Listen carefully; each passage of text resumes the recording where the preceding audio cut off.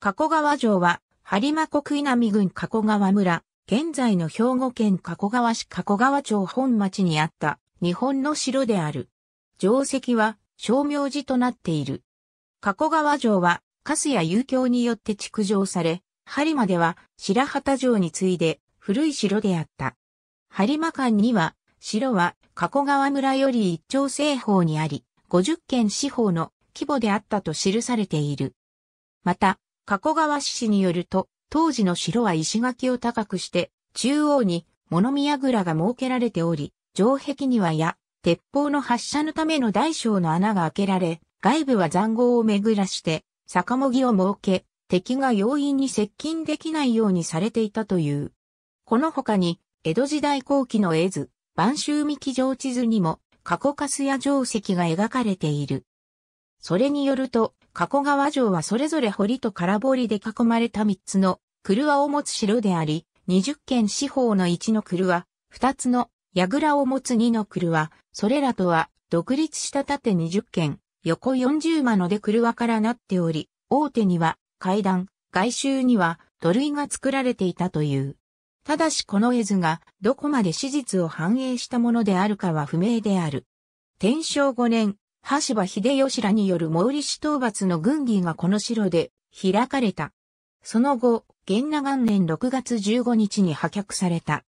現在、定石は商名寺となっており、地表上での移行は皆無と言って良い状況だが、付近には堀と思われる水路が存在するなど地形にかすかに痕跡を止めている。埋蔵文化財宝蔵地としては、県遺跡11万263が不番されている。城のあった場所は、加古川町本町あざ城下市と表示されていた。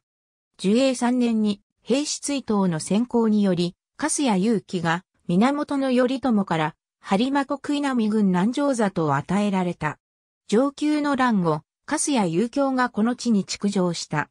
鎌倉時代には、加古川城は、播磨守護所で守護代粕谷氏が在城した。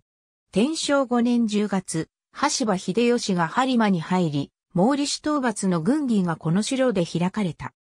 この時の十二代城主であった、粕谷武則は秀吉に付き従って故障頭となり、静ヶ岳の戦いで武功を挙げ七本槍の一人に数えられるなどの活躍を見せ、最終的には一万二千国の大名に出世した。しかし、関ヶ原の戦いで西軍についたため、領土を没収された。その後、粕谷氏は断絶し、元那元年6月15日に破却された。天正5年10月、織田信長が秀吉に中国攻めを命じ出陣させた。秀吉はまず播磨に下校し、別所白の協力を得て1ヶ月足らずで、播磨の大半の皇族を掌握した。秀吉は背後の脅威である田島や毛利の勢力が浸透している福原城、光月城を武力平定し、戦果報告に帰国した。改めて秀吉は、張り参りすると、加古川城に国内諸城主を集め軍議を行った。三木城主の別所長春の代理で出席したのは、毛利美域で名門意識の強い叔父の別所義親であった。義親は仮想から立身した秀吉を見下すところがあり、表情で秀吉の問いに応じて、別所氏の家系から代々の軍功を語る長談義に及び、秀吉の不況を買うことになった。義親は憤懣を抱いたまま三木城へ帰る途長寺を解き伏せ、信長からの離反を決意させた。この決裂により、翌天正6年から8年にかけて、三木合戦が始まり、三木城及び別所氏一族の諸城を秀吉が攻めることとなる。天正8年に秀吉は諸城を陥落させた後に、三木城を落城させ、長治は上兵の命を引き換えに切腹、義親は徹底抗戦しようとして上兵に見限られ、殺された。